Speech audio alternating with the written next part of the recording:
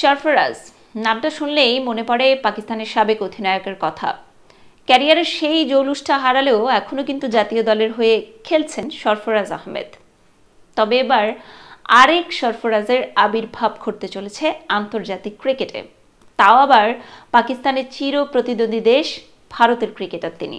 বলছি, সরফরাজ সরফরাজের কথা। সবকিছু ঠিকঠাক থাকলে এবছরই বাংলাদেশ সফরে অভিষেকটা হয়ে যেতে পারে তার বিস্তারিত বিডি ক্রিক টাইমের এবারের প্রতিবেদনে। মুম্বাইয়ের ব্যাটার সরফরাজ প্রথমে নজর কাড়েন ইন্ডিয়ান প্রিমিয়ার লিগে। এরপর রঞ্জি ট্রফির এবারের আসরটা কাটিয়েছেন স্বপ্নের মতো। ফাইনালে মধ্যপ্রদেশের বিপক্ষে আবারও শতক হাঁকিয়ে তিনি এখন আলোচনার কেন্দ্রে। অনেকেই তাকে ভারতের টেস্ট দলে জায়গা দেবার দাবি জানিয়েছেন। চলতি বছরের শেষ দিকে বাংলাদেশে এসে দুইটা টেস্ট ও তিনটা ওয়ানডে খেলবে ভারত। গুঞ্জন রয়েছে, বাংলাদেশ সফর দিয়ে টেস্ট দলে যাত্রা শুরু হতে পারে সরফরাজের।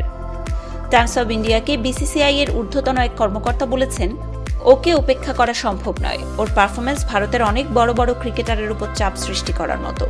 গত বছর ভারত এ দলের হয়ে দক্ষিণ আফ্রিকায়ও ভালো করেছে। সেই সাথে সে দারুণ একজন ফিল্ডারও। বাংলাদেশের বিপক্ষে সিরিজের দলে ওর থাকার সম্ভাবনা রয়েছে।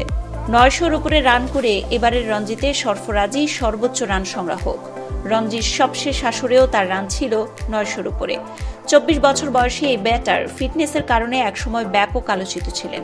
তবে তার সাম্প্রতিক ফর্ম যেন প্রমাণ করেছে, ভালো খেলার জন্য কঠোর পরিশ্রম আর মনোবলই আসল বিষয়, ফিটনেস নয়। ভারতের সাবেক ক্রিকেটার দিলীপ ভেং সরকার মনে করেন, সরফরাজকে এখনই জাতীয় দলে নেওয়া উচিত। তিনি বলেন, ভারতের ওয়ানডে ও টি টোয়েন্টি দলে ওকে অন্তর্ভুক্ত করা যেতে পারে। অবশ্যই টেস্ট দলের সংক্ষিপ্ত তালিকায় ওর নাম থাকা উচিত। ও ক্যারিয়ারের সেরা ফর্মে আছে। বছরের পর বছর রান করে যাচ্ছে। রঞ্জির ফাইনালে সেঞ্চুরি ভালো লক্ষণ। ওর বৈশিষ্ট্য একজন ভালো খেলোয়াড়ের। দিলীপের সুরে সুর মিলিয়ে আরেক সাবেক ক্রিকেটার মদন লাল বলেছেন, ওকে এ দলের সুযোগ দেওয়া উচিত। তাহলে যখনই জাতীয় দলের প্রয়োজন হবে, তখনই প্রস্তুত পাওয়া যাবে। অনেক বড় খেলোয়াড় আছেন যারা রঞ্জির ফাইনালে সেঞ্চুরি পাননি। সারা বছর দুর্দান্ত খেলে ফাইনালেও যদি আপনি সেঞ্চুরি পান, তাহলে সুযোগ পাওয়া উচিত।